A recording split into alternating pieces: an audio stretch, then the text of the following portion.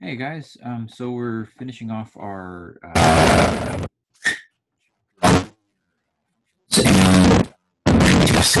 this week, so I'll send um, some time. So today I just wanted to wrap things up sorry, looking at some uh, application problems and um, looking at uh, some of the uh, ways in which uh, linear functions can be used to relate real data or real examples in the world. Um, and there's many examples um, of linear type uh, functions. Um, and when you get to higher grades, you'll see, you know, obviously different types of functions that, that have uh, real world applications to them. Um, so here's, here's uh, three quick uh, little um, bits on earnings and stuff. Um, so what I would encourage you to do, see if you can stop the video and um, answer these questions um, without me showing you how to do them. And even if you get, you know, only partially way through, um, then at least it's going to sort of activate your brain to think about how you would even set up a question like this. So here's three examples dealing with uh, uh, Caitlin, Braden, and uh, Kiana. And um, what we want you to do is to write a linear function that uh, uh, sort of um, supports this uh, data, and then do a quick sketch of what the graph would would look like. Okay, so I would encourage you to pause the video and, um, and then restart it and see how you did on those. Okay, so for our first question, uh, Caitlin earns uh, $12 per hour. Um, let's do number one here, maybe. Um, and so um, I guess we'd want to know what what we're graphing. So what what could we graph in a question like this? So if this question was on the test, I, would be much more specific and say, you know, uh, here's what I want you specifically to draw. But one thing we could look at is Caitlin's earnings over various um, hours. And um, and then of course there's a bit of what we call reality in the question, and we'll talk about that in, in a bit here. So I might say let's um, and once again you can use X if you want. Um, I, I, like t here. I, I, might say let t equal uh, the number of hours worked. And uh, once again, if you prefer to use x, that's that's fine. Um, but t t might make it a bit more real for us because t obviously that has something to do with time, whereas x um, um, not not very specific what that would what that would mean. Um, and then I would want to have some value for my y value. So I'm just going to write an x above t and say that's that's really the x part of the graph. And then I might want to write a statement where I'm using y because um, remember we, we, these are linear, so it should be like y equals mx plus b. Um, but I, I might choose a different uh, letter than y. So maybe um, earnings uh, could be e. Um, maybe, maybe M for money, um, just something that kind of makes sense to you. Um, there's no real like right or wrong variable to use here. Um, it's purely sort of preference. Um, I'm, I'm going to use uh, E for earnings. Okay. But you know, if that was a if this was a physics class, you might use E for energy. So, um, so there's lots of different uh, symbols you're going to learn as you go through um, your studies that uh, might make more sense to you. But for this question, I'll use E for earnings, uh, the amount of money she makes, and that would be related to $12 per hour. So if she worked one hour, she'd make $12. If she worked two hours, she'd make $24.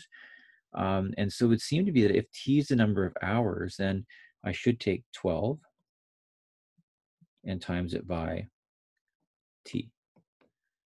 Okay, now if you prefer to use X's and Y's, that's not nothing wrong with that. You could say Y is equal to 12X. So same equation here.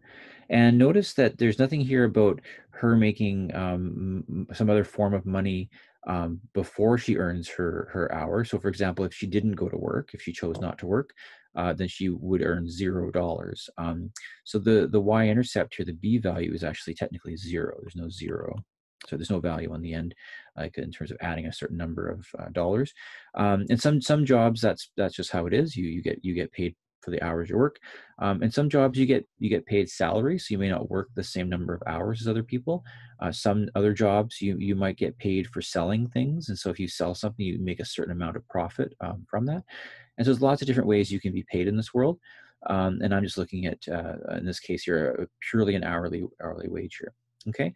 Now if I if I write the equation left it like this, I said that's that's my equation. Um, then there's a lot of weird things that could come from just leaving the equation like that. Like a lot of weird, um, I guess, um, uh, uh, outcomes, I guess, maybe look at it that way, and uh, things that I think we would all agree are, are, are dumb. Um, and I'm going to just show you some examples of those. Um, so let's say I said I'm going to make t equals um, um, t equals, let's say, negative 2, okay? And so I plug that into my equation. It's E equals 12 times negative 2. And of course, if I work that out, um, I would get E is negative 24. Now, what, what was E again? Well, E was the earnings. So she would earn negative $24 if she did that. Um, so could could she actually do that? Like, would would that be something she could do? Um, well, um, if T is the number of hours she worked, and you're saying she worked negative two hours, um, that means you're saying she worked less than zero hours, which is ridiculous. Um, now, if she was overpaid, maybe the employer could deduct two hours pay from her. Um, and that, that's maybe a, a, situation where you could say T is negative two. Um, but in terms of sort of your typical um, uh, scenario, that, that doesn't seem to make a lot of sense. And so if I graph this thing and I, and I don't, I don't think about what I'm graphing, I just, I purely just go on my my math mathematics as it were um, and think well i'm just going to graph this thing i'm going to make this uh, the time axis down here and I'm going to make uh, this axis up here the earnings. And I say, well, okay, well, I got a y-intercept at zero. And my slope is, uh, well, number is 12 there. So my slope is 12 over one, which means for every, for every one, I might need to adjust my axis here, but let's, let's make these, let's make these 12s.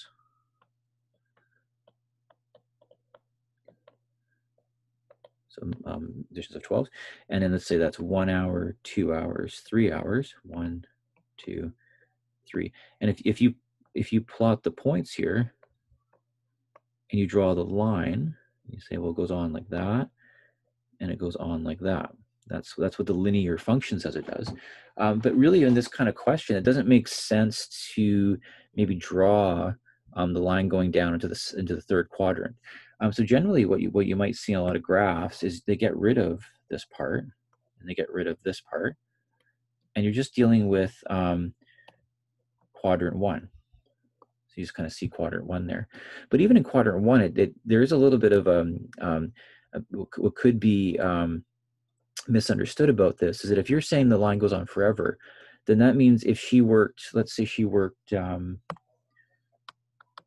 a thousand hours she worked a thousand hours, um, then you say, well, the earnings would be 12 times a thousand. So she would work 12,000, 12,000, so she'd earn $12,000 if she worked for um, a thousand hours. Now, uh, there's a lot of issues like in terms of employment, like can you actually work a thousand hours? Um, and I guess you could say, well, maybe maybe over a certain number of weeks, uh, months, uh, that would be that would be possible. Um, but you know, there could come restrictions here in terms of the uh, the number of hours you work in a day.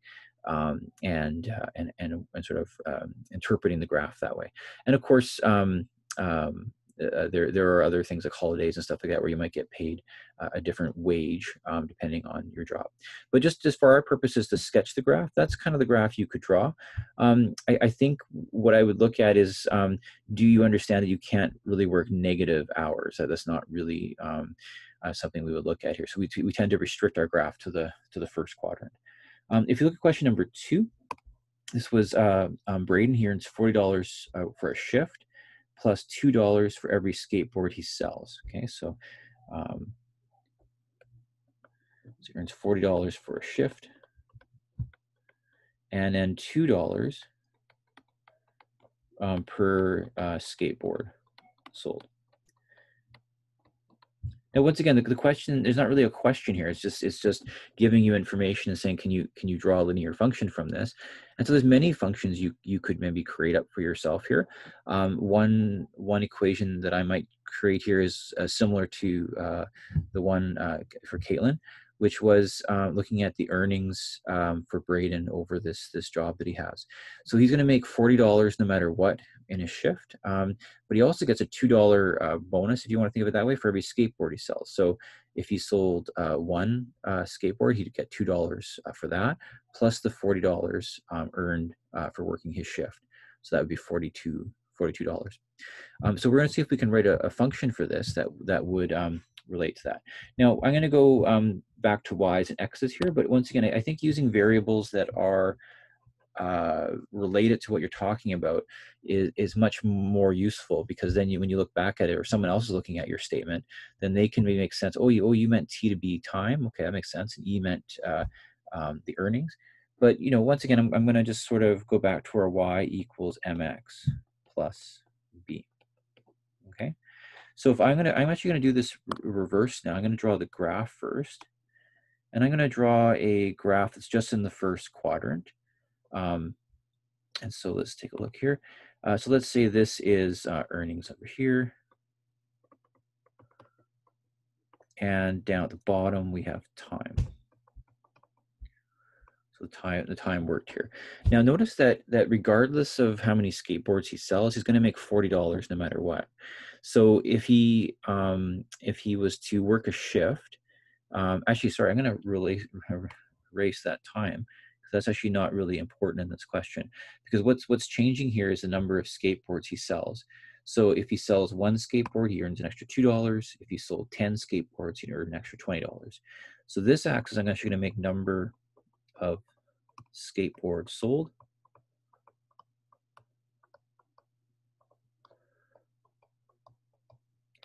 And what I notice is that if if he sells zero skateboards, then he still makes $40. So I might make this, um, let's go up by,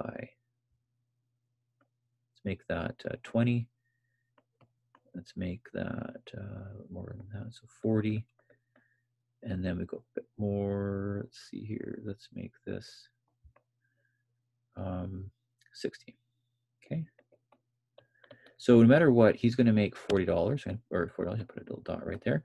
And then basically, depending on the number of skateboards he sells, he's going to make more money. So my graph's kind of tight here. So one, two, three, four, five. So if he sells uh, one skateboard, he's going to make $42. If he sells two skateboards, he's going to make $44. I think my, my line's going to be a bit more shallow here and and this line just keeps on going. So if he sold um, five skateboards, he'd make 10 more dollars, so he'd be 50, so maybe in the middle there. So if I look at this, I'm drawing a real rough sketch, I should use a ruler for that, um, then that's kind of what the line would, would look like here. But what would the equation of that line be? Well, um, the slope here uh, would be, well, I guess let's look at these 40 and 2 here. So really what's changing here, what changes over um, uh, the number of skateboards sold is this $2 amount. So I guess you could say that y is equal to 2x, that would be the slope of the line. Um, you notice it went over 1 up 2, over 1 up 2, and, and then I guess if you think this went over 5 up 10. Um, so, so the slope is $2, but um, an initial uh, earnings of $40 to, to start off with here. So 2x um, plus, plus 40. Okay. Um, and then in Kiana's question, um, she's earning uh, a weekly salary of $300. So basically she makes $300 per week. And then similar to, to Braden, uh, she's going to make 12% or she's going to make a certain amount of money on what she sells. Um, and so maybe if this is a clothing store or, something like that, you might make profit based on the number of items you, you sell. Uh, it may not be a flat fee, and you might get a percentage. So if you sold a, a really cheap shirt or a low price shirt, you wouldn't make as much money as if you sold a really expensive shirt. So there's lots of different um, jobs out there that, that can pay their employees different ways. Um, so let's take a look at our um, equation. That's we got y is equal to mx plus b. And so she gets 12% um, of sales. Okay. So um, let's say uh, she sold um, uh, $100 worth of material. So I'm going to do a little calculation here. So let's say she sold $100 worth of um, shirts or socks or I don't know, um, fidgets or something. Um, and you're, you're, you were curious, well, how much money would she make on that? Well, we take the amount of sales, which is 100, we times it by the percentage, but we have to convert that percent to a decimal decimal number. So 0.12 is the same as 12%. So 0.12 times 100 is 12. So she would have made uh, $12 um, with this little um, uh, perk that she gets at her job, but she still would have made the, the $300 she gets paid per week. So she gets paid $300 plus the 12, which would be $312. Okay, so let's say over the week she she sold hundred dollars worth of clothes, then she should make a three hundred and twelve dollars uh, in total. But let's say she does an, another really good week and she makes she sells eight hundred dollars worth of material. So we sell it, we times 800 by 0.12. So 800 times 0.12. And now she's gonna make $96 with this, this perk. But that's that's with the perk part. Um, and then she has to add that to the $300 she would get paid normally. So add that to 300, add the 300, scroll over. So you can see in the in the uh, second example, she would make more money because she sold more stuff. So she gets she gets paid a, a, a, commission, I guess you can think of it that way, on what she's what she's selling here. So how could we write a function for this? Um, well, if we think about um, what's constant here, is that she's always going to get paid $300. So, so it doesn't matter if she sells um, anything. It may turn her her employer lets her go if she doesn't sell anything, uh, but um, but she's going to get a, flat fee of $300. So we would say y is equal to mx plus b. So really, um, she's always going to make $300. So that would be our, our y-intercept there. Always going to start at 300. Um, but then the slope of this, what would the slope be here? Well, depends what we make x, I guess. So let's let's make x. Let's let x equal um, amount of money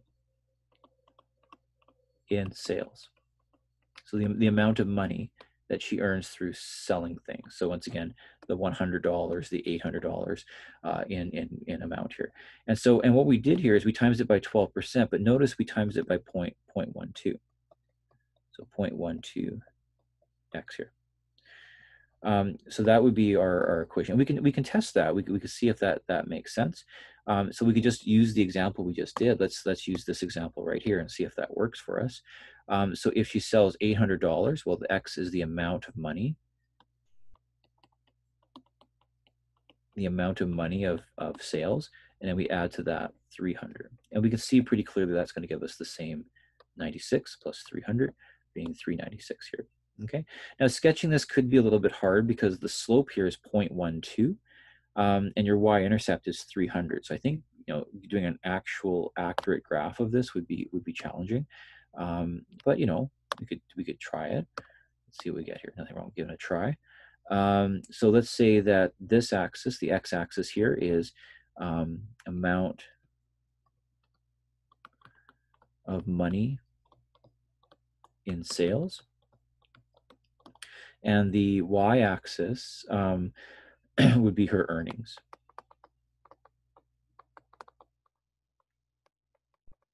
Okay, earnings. Two two axis measuring money here, money, money, money. Um, okay, so we've got. Um, uh, I think I might go up by. Why not go up by hundreds here?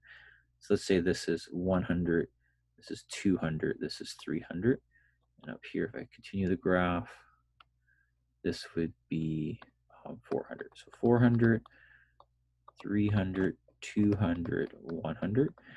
And then my x-axis, I want to be um, somewhat liberal here because we can see if she sells $800, she's only going to make 96 more dollars. So I might make my um, x-axis here, um, let's think here. Let's make it, let's make it hundreds. Um, yeah, so maybe I'm gonna make that a little bit further.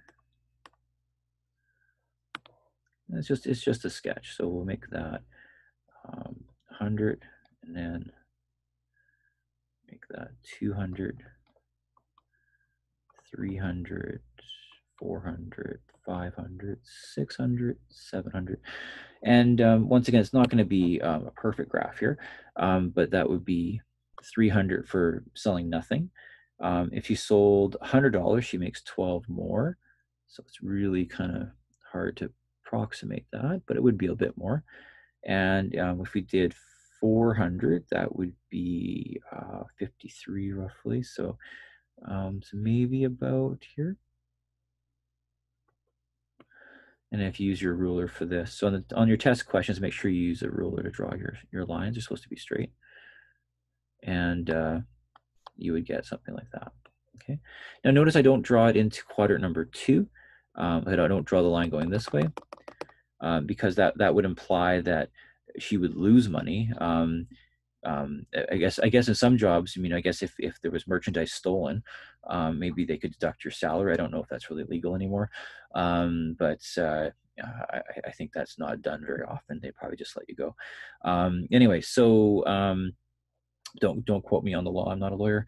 Um, anyway, so uh, so that's kind of what our graph would would look like there. Okay, so our, our last uh, two questions here uh, deal with uh, Mr. Quast's house. And once again, I would ask you to pause the video and um, see if you can um, take uh, start off with that one. Okay, so we've got this uh, equation here, and we're being asked um, to uh, do a bunch of things. One is sketch a diagram. And um, just to clarify some of the information given in the question, we're told that uh, this equation that uh, we start with here, this equation up here, that talks about the height um, above the ground um, in feet versus the horizontal distance in feet from the, uh, the gutter to the center of the house. So the gutter, the gutter would be here. And the center of the house would be this blue dashed uh, line here. And we're told that from the gutter to there is 40 feet.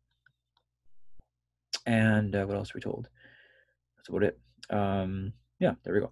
Okay, so, um, and then this, we got, a, we got a roof here. And uh, if we were just graphing this, once again, if we do this idea of just purely using the grid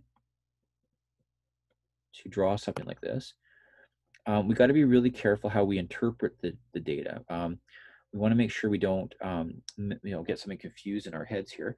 And uh, so I'm just going to draw the line as it is. So let's let's say um, x is the the horizontal distance and the h is the vertical distance above, above the ground. So where is our y-intercept for this line then? So we have, we have the equation h equals 1 third x plus 50. So which one of those numbers is the y-intercept? Well, the y-intercept is uh, the b value, which is the 50.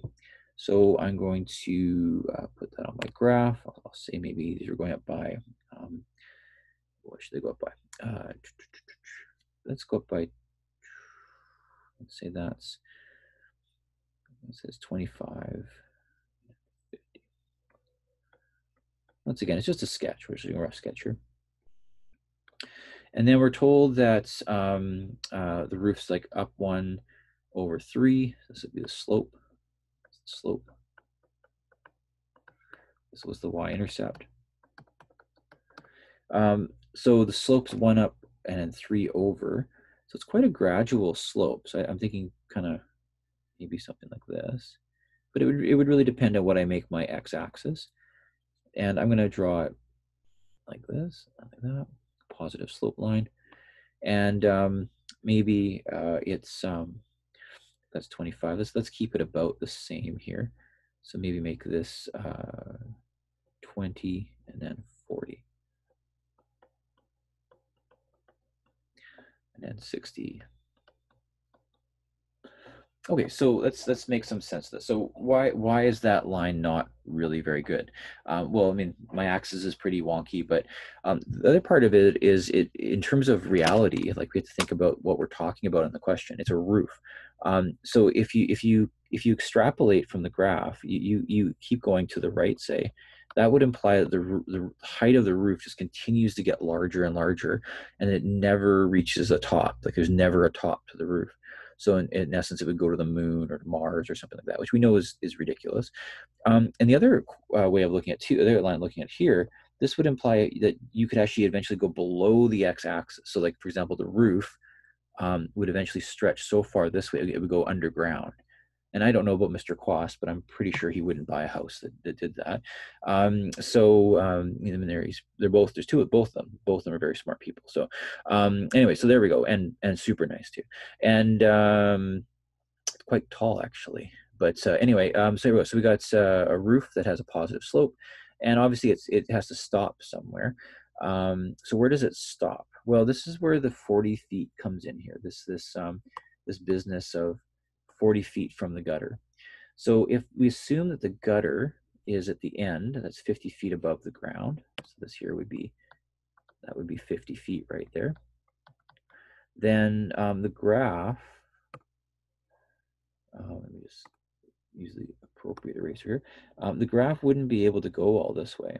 It would have to stop, start right there.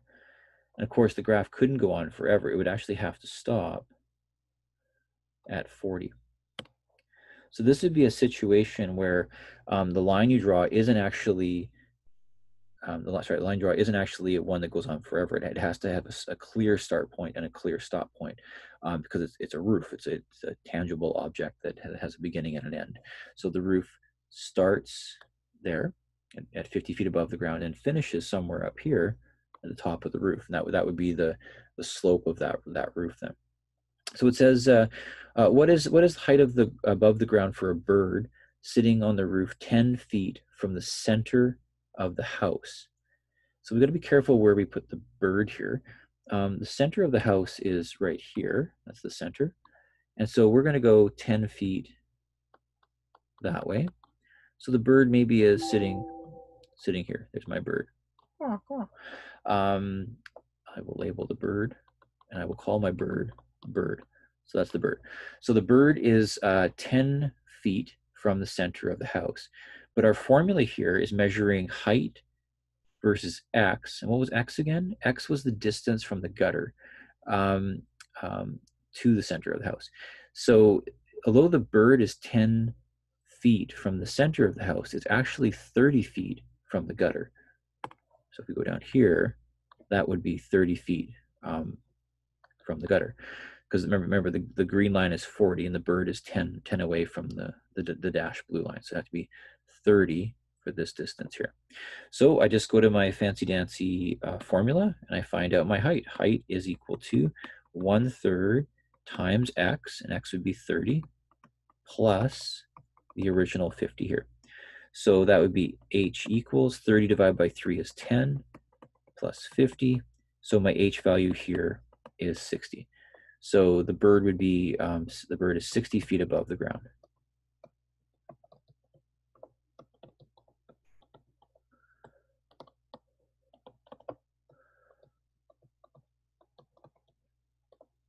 Okay. Now, the last question here talks about this uh, ant, which I will use um, a purple color for my ant. Uh, so my ant's maybe, uh, how far is my ant? Uh, the ant is crawling on the roof at a height of 53 feet above the ground. So he's not right at the gutter. He's got to be maybe somewhere because that was 60 feet for the for the bird. So I'm thinking my ant, which really wouldn't be that big, but this ant is going to also be called ant, um, is uh, sitting right there. And so the question is, how far are they to the center of the roof? So what is that distance there? Well, clearly um, they've got to be more than 10 because the bird was 10, the bird was higher up. Um, but let's take a look where the ant is then. So we go to our fancy dancy formula and we now know that uh, h is the height and we're told that in question three the height is 53. So 53 is equal to one third x plus the 50. And once again, we're trying to find the x distance, which is the distance from the center of the house. So I'm going to minus 50 from both sides first. You can see all the stuff we did in the last chapter sort of helpful here, how to work with equations. So that's a 3 equals 1 third x um, here. And now to undo a fraction, we would times uh, both sides by 3. So I'm going to times this side by 3, times this side by 3. And that's going to give me 3 times 3 is 9 equals x, or x equals 9, of course. So what is what is x again? Well, x was um, x was the horizontal distance from the center of the house. So, um, oh, sorry, from from the what was the question actually asking? So the question was asking, sorry, I should be careful here. Uh, the question was asking how far from the center of the house are we? So that was the purple line. I'll just resketch that again. That's that purple line right there. So we want to know how far that is. But the x value, remember, the x value is the horizontal distance from the gutter to the center of the house. So from the gutter, it's nine feet. This is nine feet. Nine feet from the gutter, which means um, if the entire distance is 40, then it must be 31 feet. So the ant is 31 feet from the center of the house.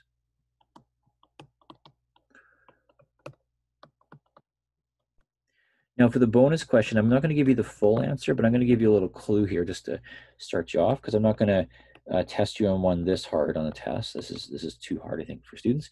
Um, but let's let's take a look at our roof again. And what I'm going to draw is just the the roof, like that. And we know that um, the ant here, we know the ant is, uh, where that's, we know the ant is 31 feet from the center of the house, right? And we know that uh, that is when the ant is 53 feet above the ground.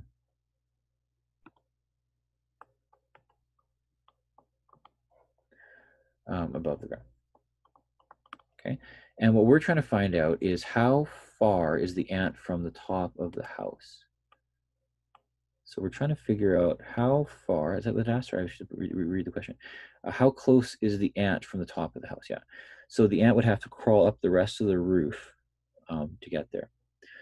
Now, what I was going to get you to think about was, because I don't want to answer this for you, is um, if you look at that shape, we've, we've, looked, we've seen shapes like that before where you just draw a line over this one.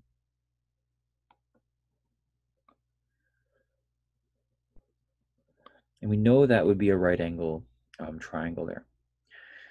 So I guess the question is, could you figure out, I guess, first, what this height is? And if you could get that height, is there a way then to get this height? So I'm going to put a number one here. See if you can figure that out using the equation. And in the second bit here, is there some equation uh, that we could work with that would allow us to figure out that, that distance, what that distance would be? And my only clue to you would be is think about like ancient Greece. I, I think that might be a, a, a giveaway at that point. Um, and toga wearing people. Um, anyway, uh, I'm going to stop it there and uh, see how you do on that. Um, so don't forget our test is coming up. I'm going to send an email out about that. So hope you guys are doing well.